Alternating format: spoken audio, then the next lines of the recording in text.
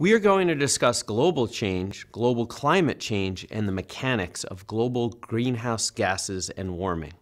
So first of all, what is global change? Global change is change that occurs in the chemical, biological, and physical properties of the planet.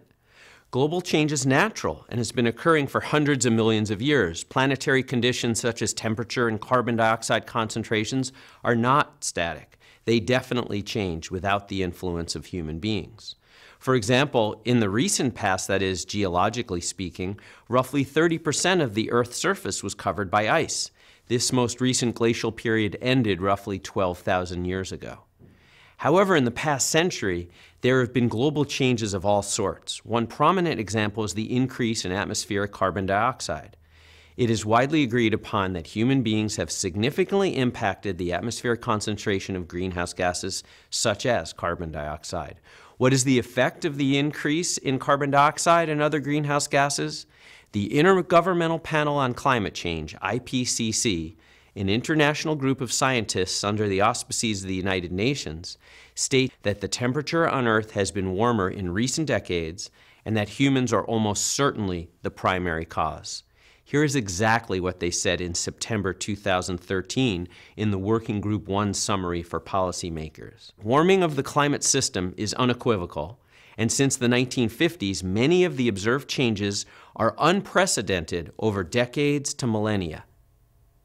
The atmosphere and the oceans have warmed, the amounts of snow and ice have diminished, sea level has risen, and the concentrations of greenhouse gases has increased. In another passage, they wrote, It is extremely likely that human influence has been the dominant cause of the observed warming since the mid 20th century.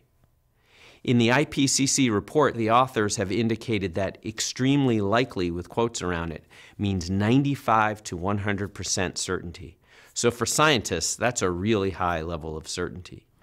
Weather is a short term description of temperature, winds, and rainfall. Climate is the average weather that occurs in a given region over a longer time period. Global climate change is a type of global change that refers to changes in the climate of Earth. Changes in climate can be categorized as natural or anthropogenic, meaning caused by humans. Global warming refers specifically to one aspect of climate change, the warming of oceans, land masses, and the atmosphere of Earth that takes place over longer timescales than the annual seasonal cycle of being warmer and cooler or being drier and wetter. What is the source of this warming? The ultimate source of almost all energy on Earth is the sun. Incoming solar radiation consists primarily of ultraviolet and visible light. About one third of this incoming solar radiation is reflected from the atmosphere, from clouds, and from the surface of the planet, back into space. The remaining solar radiation is absorbed by clouds and by things on the surface of the planet. Thus, the clouds and planet's surface are warmed in this process.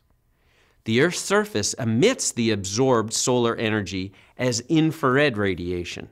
Greenhouse gases surrounding the Earth absorb much of this radiation, emitting the infrared radiation back to the Earth. And this is what we call the greenhouse effect. Quantities and processes that change the absorption and radiation of energy are drivers of climate change.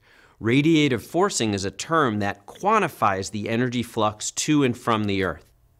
Positive radiative forcing means the Earth will get warmer. Negative radiative forcing means the Earth will become cooler. There's a known quantity of energy from the Sun that strikes the Earth each year. The IPCC reports that radiative forcing is positive, meaning that there has been a positive flux of energy to Earth and the Earth has been getting warmer. The largest contributor to the positive radiative forcing is the increase in atmospheric carbon dioxide since 1750. Earth now absorbs about 2 watts per meter squared per year more than it did in 1750. This means the greenhouse blanket of heat trapping gases is thicker than it used to be, hence the warming. This may seem like a small net gain in energy, but over the global Earth system, over time, this can add up to significant changes in temperature, resulting in a warmer Earth. And that is exactly what has been observed.